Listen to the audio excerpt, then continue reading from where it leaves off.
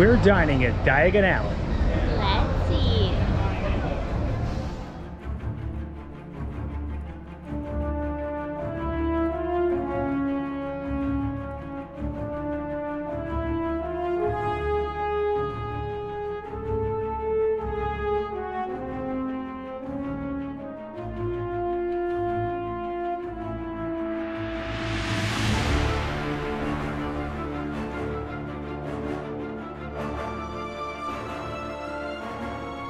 Hey everyone, I'm Jay. And I'm Sam. You're watching the Theme Park Foodies, and we're back at Universal uh, to fulfill a promise we made in our uh, uh, Harry Potter crawl. If you guys have seen that, check it out. We tried different quick service options throughout Harry Potter Land, but we didn't have two of their major uh, quick service sit-down dining uh, options, right, Sam? Well, we've been here before, but we've not vlogged. Yes, we haven't vlogged them. Yes. Uh, so, uh, which what, what are they? Uh, the three. Which is what that's located in uh, Islands of Adventure at um, Hogsmeade. But today we're actually going to where? Yes, which is in Diagon Alley, uh, which you can uh, see Diagon Alley in a lot of the Harry Potter films. It's very cool. It's hidden. We actually didn't see it the first time we were at Universal. We were looking for it. Uh, it's in the right next to King's Cross. It almost looks like you're entering a bathroom. Um, and then right there, you'll be able to see the big dragon as you walk out uh, into Diagon Alley. They have Ollivanders right in there, so if you want to buy your wand, they also have an ice cream shop in the back that you see our last video. We got some great butter beer and a sticky toffee putting ice cream at. But today is all about the leaky cauldron, right? Yes, I prefer the leaky cauldron over three broomsticks. How do you feel? Yeah, it's slightly more um, authentic. You hear that road behind you? Yeah, yeah. It's slightly more authentic. Uh, Sam was uh, alluding They to. The scotch egg, Yes, the yes. cottage pie. Yes. right? Uh, they have a, I believe a Guinness stew, whereas in uh, the, the um, Three Broomsticks, you're going to find more like rotisserie chicken, Ribs. ribs, um, some great ve- vegetables there as Yeah, well. I mean, it, they're both good. Yeah, they're I both agree. Very good, and you can get butterbeer, yes, even hot. yes, we're gonna we'll be definitely I trying have out. one. It's a little rainy. I think maybe a nice hot butter beer with my meal. They have good nice. desserts there too. So. I, I'm, I'm really excited actually for our meal. We also need to get our Universal AP magnets. Magnets, we forgot to get those last Yes, we haven't. We forgot to those last time. Um, anything else you have on the agenda today, Sam? There was something else, and I can't remember. We will remember it. If you enjoyed the content, please oh, we like. need to get HHN, sure. Yes, HHN shirts. Less than one.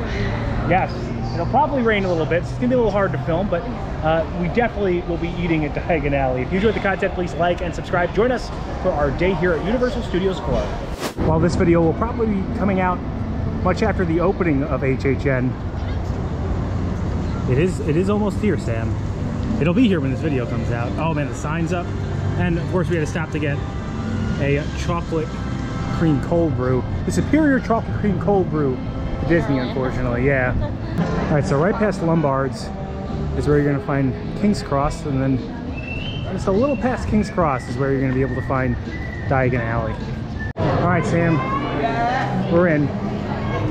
So the Leaky Cauldron is gonna be right to the left as you walk in. Oh, someone just flushed the toilet. All right, we're inside, and it's very well themed in here. You can see a little examples of all the different foods that you can get. Bangers and mash is very popular in here, as well as the fish and chips. I'm either going for that Guinness stew, I think, or the fish and chips. I've had the bangers and mash; they're very good. Yes. Sounds oh, there's the Guinness stew. Chicken sandwich, I think, yeah, last time was good. good. All right, we're going in. Not that long of a line right now. Although you can mobile order. All right, so they got us in a darker section. There is some good natural light behind Sam. Uh, but you just had your hot butter beer, which we had this in our Harry Potter crawl as well. Uh, it's probably, a, it's I think my favorite form of butter beer. It's a 10. Hot butter beer in August. It's it's air conditioned in here though, so it's a little bit more enjoyable. And it's like a little gloomy out. Yeah. It's perfect Harry Potter weather. I got me a bit of the traditional butter beer. Um, we again had this in our last, probably the first thing we got in our call in our last video. It's iconic.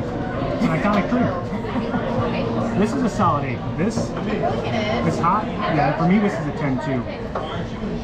Mm, So good. right? I can't wait to come in the winter. I should have got that one. Yeah, in the winter with the Christmas stuff, which we will have videos on. Um, so subscribe if you haven't. If you're liking what you're seeing, you know, hit the subscribe button and the like button too. All right, so we got our food, and I, I do have to say, Um, I think I said this before. The theming in here is very nice, incredible. Uh, definitely one of the top at any theme park I've ever been to. The centerpiece is that big leaky cauldron, obviously. Um, then it has like pictures of wizards all across the wall. Um, it has a lot of depth too, because you see some staircases with some books, so it looks much larger, probably what the physical space actually is. And the food, the food, Sam, it's good, right? Like It you said, I would authentic. like. I would like to eat it. okay. Uh, well, you said authentic, so I wanted to bring up. Well, it's. It, I mean, if you're British, this might not be the most authentic, but it's more authentic than three broomsticks, in my opinion. So these are Scotch eggs, and they're Yes. served warm. Yes. And they have uh, a Scotch egg, if you don't know, is like covered in like a sausage. And Um, it has apple beet salad and mustard. the mustard is like a spicy mustard. You also have your utensils right at your table, and they bring the food right to your table, even though it's quick service. And they do have mobile order. Mm. Last time we were here, you could only mobile order. I think it was because it was super crowded. But today it's pretty dead, so you were allowed to walk in and just Mm. order. I really like the Scotch eggs here. They also have them at Finnegan's. Yeah. We had them They taste years similar. ago. Yeah. I was at like a solid. For me, that's a seven. I just, they're good. They're iconic. Iconic, right? You know. All right. So you know what tar- tartar sauce is for, right, Sam? The fish. Yes. Fish and chips. So you- you said uh, this was more traditional, so I felt inclined to get the more traditional dishes. So fish and chips. I did not, because I'm just. Their, their chicken sandwich is very good. It's a grilled chicken sandwich. Yeah. Just come with bacon and a nice tomato on top.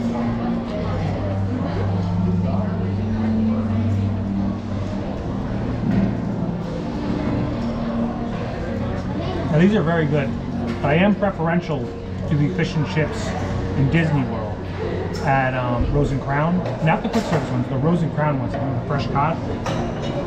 Now that's a sit, sit down restaurant. They have quick service ones there. These are better, I think, than the quick service, but not as good as the Rose and Crown. But they use, I think, a different fish. Um, I could be wrong. They could have changed it up last time I had it, so was. This is still very good. Um, I'm very happy that I got it. They also come with wedges, chips. Chintzy with the wedges on both Yeah. of our dishes. I agree. Like it looked like they had been picked through already. The wedges are a five. They're nothing special. But the fish and chips are very good. I'll get this up to like a six. A little better than average in a nice themed environment. Definitely a six to me. All right, Sam, that chicken sandwich is very good. I had a little bit of it last time we were here. There's um apple butter mayo on it, Colby cheese, roasted tomato, and it's a homemade specialty bun. It looks very good. But like like I said, like there's a little more wedge. Yeah, they're here. chintzy with those wedges. And the uh-huh. wedges aren't like the best thing ever. That's why I'm happy we got an appetizer. And it's smoky apple bacon. Yeah, the, the bacon is very crispy. At least last time I had it. Just And that tomato adds a good juiciness to it. And it's nice that it's it's grilled, not fried, you know? it's a good chicken sandwich. You take that like that sharpness of that cheddar, the crispiness of the bacon, the juiciness of the tomato. The bacon was just really good. Yeah, all of those different flavors combined with the texture of that dish, I think create a real yeah, a real elevated chicken sandwich. Going seven. Yeah, I would, I would agree with that. All right, for dessert, we got the sticky toffee pudding, which I don't, I mean, given it's quick service, it's got to all come out at once. I don't like how you get it at the same time because it comes with ice Yeah. cream. And if you're eating your dinner, that ice cream is going to be melted. Oh, it looks really good though. I remember really enjoying this. We haven't had this actually in years, so I think if we're doing a video on this, And we we gotta had have the, it didn't we again. have the ice cream in the crawl? The sticky In the toffee? crawl, we had the ice cream, yes.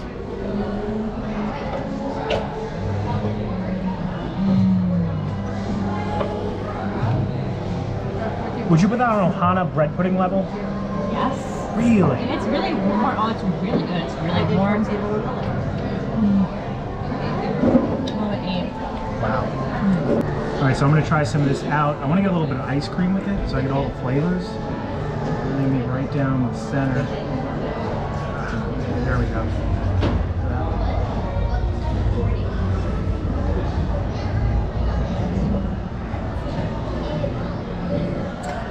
It's toffee heavy, which is what makes it. And you and I are a fan of toffee because of the um, sticky toffee cake from Liberty Tree. Ooey oh, I think Gooey that might. Ooey Gooey toffee. Oh, ooey gooey. Yeah, but I agree. This is very good. very good warm. I'd probably try to get it after my dinner if you could, so that way you can eat it hot. It's still very good. And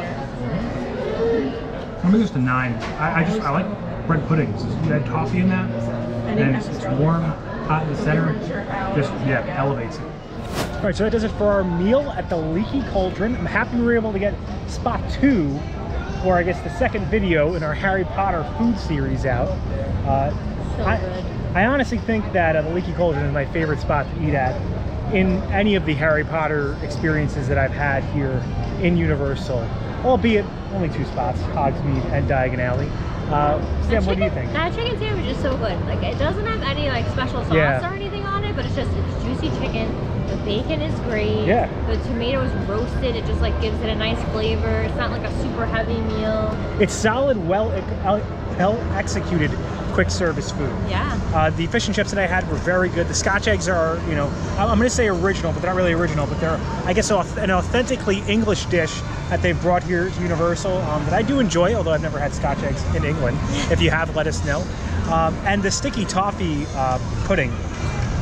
Delicious. And with the hot Yeah. butter beer and oh, that was Yeah. a great combination. Yeah, we recommend all the things that we've had. I had the bangers and mash there too before. That was very good. I would rank the bangers and mash probably an eight. Uh, all the food there is just solid. Um, if I had a, if you were coming to Universal and I and you were to ask me what spot to eat at, I would say Leaky Cauldron. I think it's even my favorite spot, even outside of Harry Potter. Um, I don't know. I'd have to think about that one more. But I do think for me, inside the Harry Potter section, although I mean we haven't, I mean we have had three broomsticks, but we haven't had it in this series yet.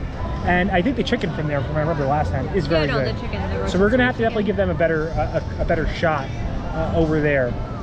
If you enjoyed the content, please like and subscribe. Liking will really help our channel grow. It pushes this video out into the stratosphere of all uh, the YouTube the stratosphere of the YouTube algorithm. Helps other people find the video. Subscribing also helps our channel grow. Hit the bell notification so that way you're notified every time that videos come out, which is Wednesday. Every Monday and Thursday at 12 p.m. Thanks so much for watching. Don't count the days. Make the days count. We'll see you next time. That's all, folks. Pretty soon, we'll be watching the Halloween Horror Nights Lagoon show. After this comes out, I think this is actually Yeah, probably going to come out after. come out by the time HHN Yes. started, but it, Yeah. at the time of filming, is not Yes, I'm, I'm assuming I'm going to like it. I'm assuming I'm going to, you know, suggest you you see it. but yeah, if you want to see our thoughts, check out that video. Also, we are next to Richter Burger right now, which we did do a Universal food crawl one day. Oh, yeah. That was one of the weaker options. And they, they there are other videos that they actually like Richter Burger. So our opinion. And remember, everyone has different palates, guys. Everyone has different opinions. We're not the end. We don't claim to be the end all be all. We just like to have some fun at theme parks, eating food.